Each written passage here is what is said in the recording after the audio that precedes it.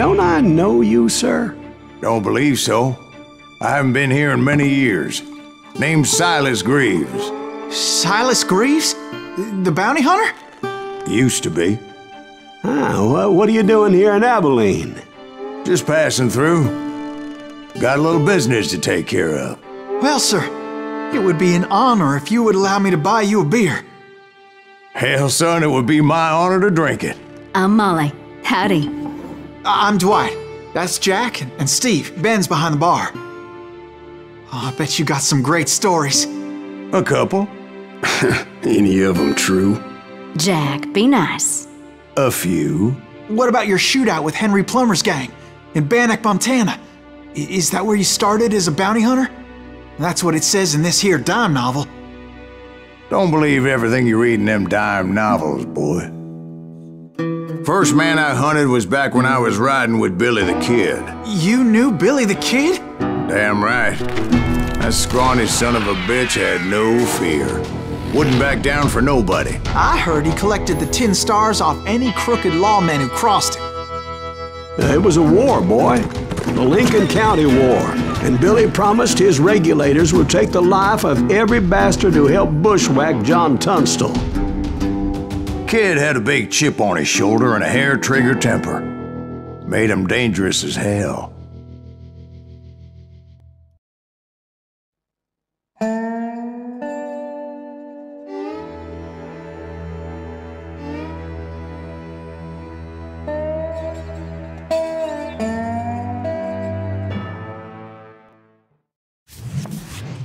It was about 30 years ago. Billy was hiding out in an abandoned farm near Stinking Springs. I threw in with the kid because the man I had sworn vengeance on was riding with Billy's enemies. But before I tell you why I want that some bitch dead, let me tell you what happened that day. I was heading back to the hideout when suddenly I had this funny feeling. Funny, haha. No, Steve. The other kind of funny.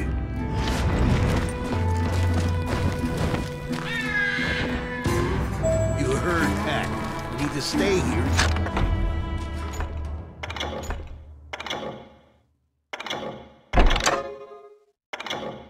Down the road. That's not fair. We're missing all the fun. I knew those two morons would never let me through. I had no choice.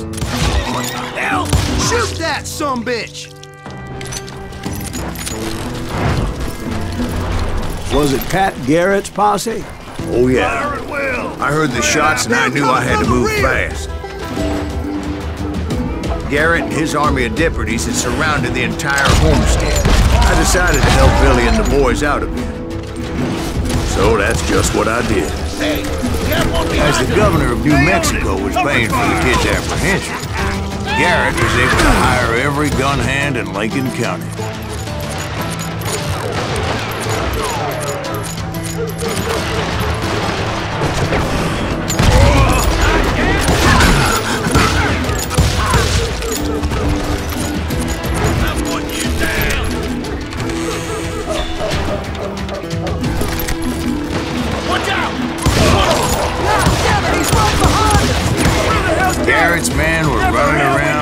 Bunch of chickens with their heads Let's cut off. these some bitches running!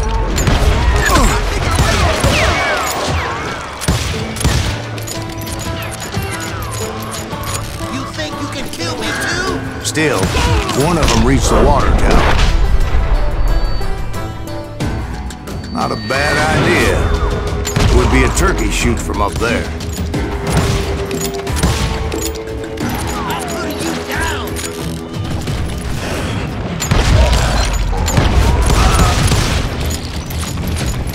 Luckily, these shooters Garrett hired weren't the sharpest tools in the shed. A lot of them were saddle tramps or sod busters or drunken drifters looking to make a few bucks.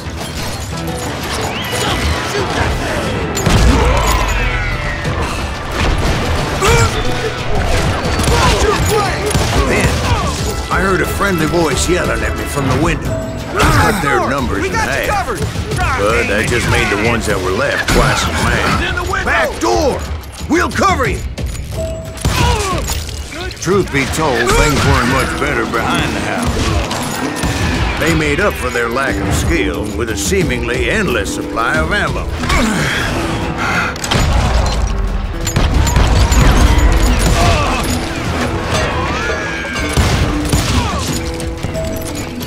It was a bit of a slog, but I finally fought my way around the back of the house. And like that, You'll I was be dead, inside. None the worse for wear. I passed Dirty Dave, Deader than a rat in a and trap. upstairs I found Billy and Charlie Bowdre. Ain't going nowhere.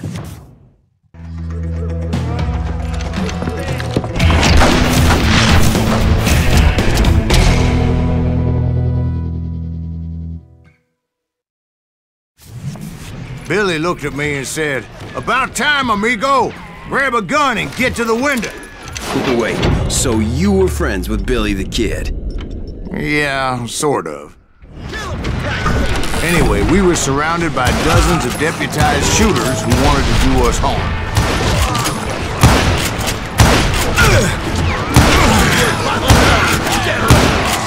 I'm telling you, Garrett's men were dropping like flies, but they just kept on coming.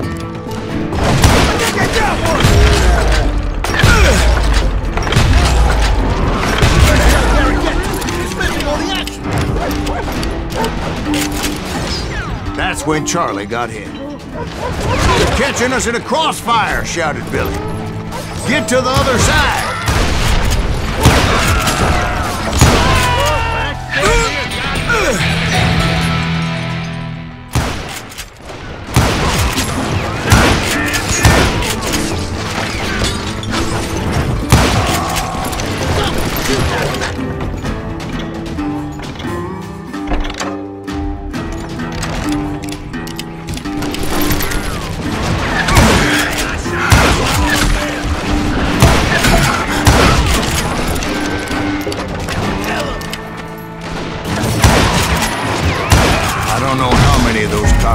I personally put down, but it was pretty clear, even to Billy, that maybe discretion was the better part of valor.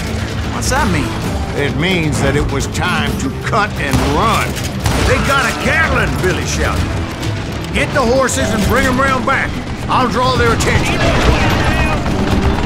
He directed that order at me, and I thought, why the hell do I have to do it? But I went anyway. Dumbass that I was back then. Run for it! Those poor sons of bitches are Randy done would have for. fled in my place. But I had that false sense of invincibility that many young men have. Like Jack. What are you saying, old man? Jack, he's just joshing with you now. Yeah, he better be. Mr. Greaves, please continue. Please, call me Silas, ma'am. Now, where was I? You were heading for the bar. Right. Making my way past a passel of fallen foes. Sounds like Garrett hired a whole regiment of hired guns. This son bitch is Yeah, and just when I thought I was done with them, more of these hapless bastards would pop up.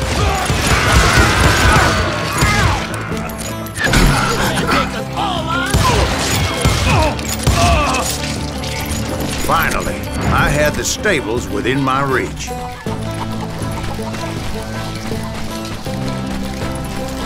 And that's when I met Sheriff Pat Garrett. I read that you went toe to toe with him, sir. That backstabbing bastard with that tacked on tin star.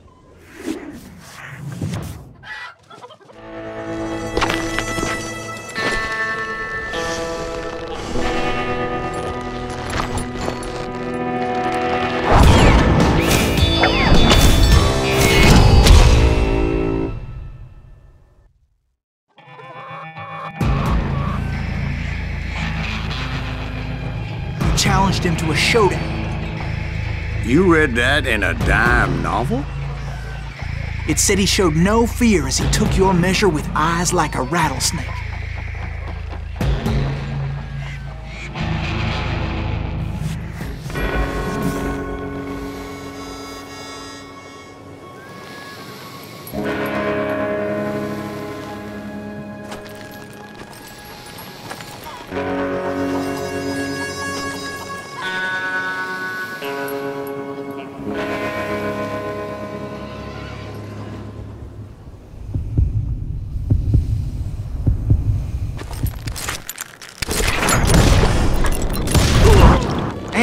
Killed him. In a fair fight. Is that what that Penny Dreadful said?